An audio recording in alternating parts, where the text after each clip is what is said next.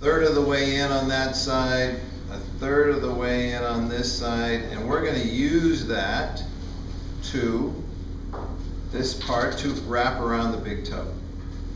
And then I'm gonna cut back, and you know, I never passed that part in kindergarten, you know, those cutting skills, I never passed that. So don't laugh at my cutting. So you're gonna come back and cut the moleskin so it looks something like that. And come back over here and make it look something like that. Right. So you want to cut it and make it look like this. Okay? Now again, this is not a great cutting technique. They make this pre-cut. Call Jeff Nelson at Alert Services, he'll um, can sell you the best stuff. So sit here for me. Why not? So frequently, we have hyperextension sprains of the great toe. It could be at the interphalangeal joint. Could somebody get my foot off the table, please? It could be at the interphalangeal joint, and you could hyperextend this joint, and you'd stretch the support structure all through the bottom of the toe. Or frequently it's at the metatarsal phalangeal joint. You get out to here and they sprain this joint. So here's a right foot, here's the interphalangeal joint, and here's the metatarsal phalangeal joint. So most frequently the tissue on the bottom here is stretched. You have a joint capsule, a joint tissue limiting that. You also have a flexor tendon. Anybody remember what that tendon's called? Flexor hallucis longus, right through here. It's contractile tissue. So when we're here, we've stretched the ligament to support. We could also overstretch the contractile tissue, the muscle tendon unit. So we're going to come here, relax your foot, relax, just let me move it. And I start to feel the resistance of the tissue. That's where I want to hold her foot and ankle, right there. You got that one for me? You hold it for me? Mm-hmm. Then I'm going to take, and she says, ouch. That's my ouch point. Okay? Hold it there for me. And I'm going to cheat back past the ouch point and hold it right here. You got that? All right, so now that's the position she's got to hold her foot. We'd spray her foot to make it nice and tacky.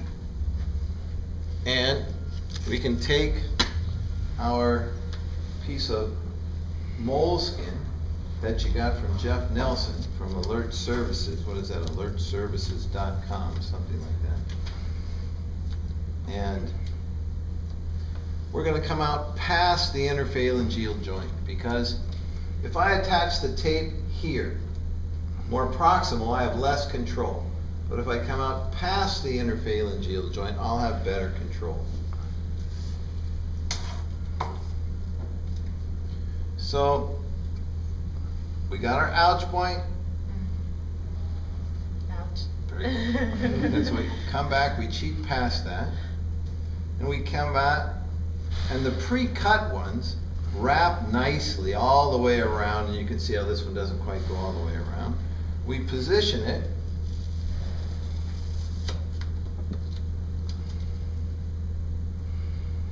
like so. And come all the way back. Now, for the big heavy lineman, I'm going to need to come up behind the heel because this will pull out. For people that aren't as heavy, you might not need to go all the way behind the heel. But we'll say you're a real big muscular boxer, for example, and you're, you know, you're weighing uh, 200 pounds or something, right? So you, we want extra support for you. So hold it here for me. We got our ouch point. We'll come up behind, right? Just like so. All right?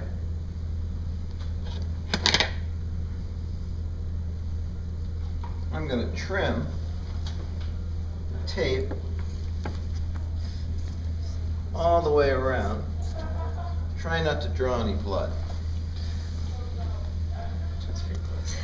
I'm going to make this conform to her foot just like so. And then I'm going to trim these pieces and tr again, try not to draw any blood. And make this smooth, as smooth as I can get it.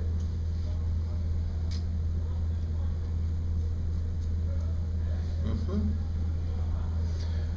I'm going to take some one inch Elastikon, hold for me right here. Right there, you got it? All right. And instead of with the hyperflexion sprain, when I X'd on top, I'm going to X on the bottom.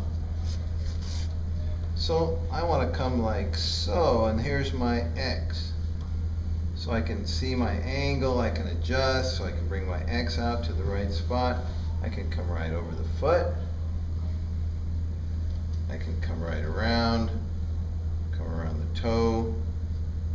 Now I'm covering my tape ends with the moleskin. And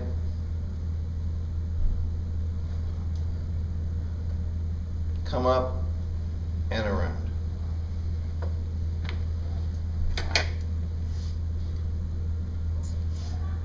So I could do two of these, or one looking at the size of the person. We thought she was a, a big, heavy boxer, so we're going to keep her here. Got that position for us.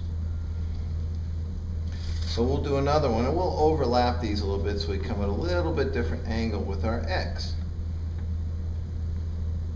I let go of the tape here, and I pin it to make sure it stays there.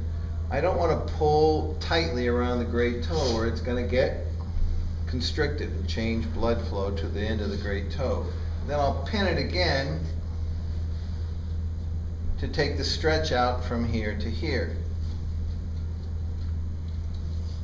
I want to overlap.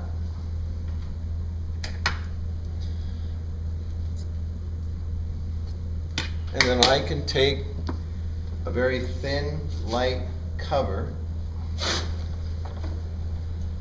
cover my tape ends, hold it right there for me. There you go.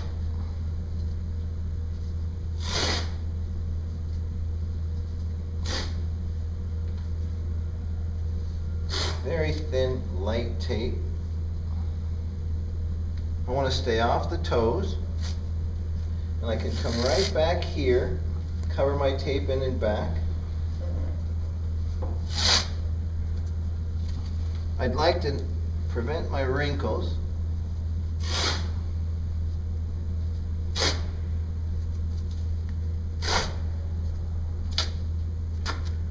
And that's how it should be done.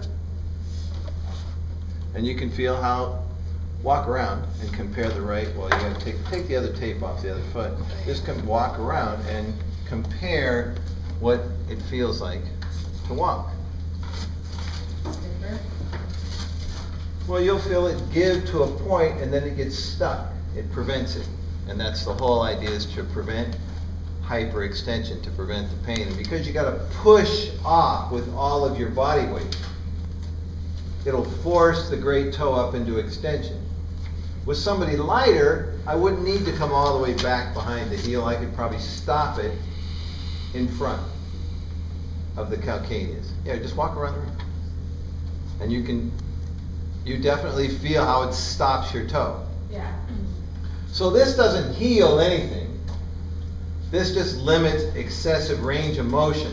And that's what we do with tape, is to limit excessive range of motion that's causing pain, causing more inflammatory effects on the great toe.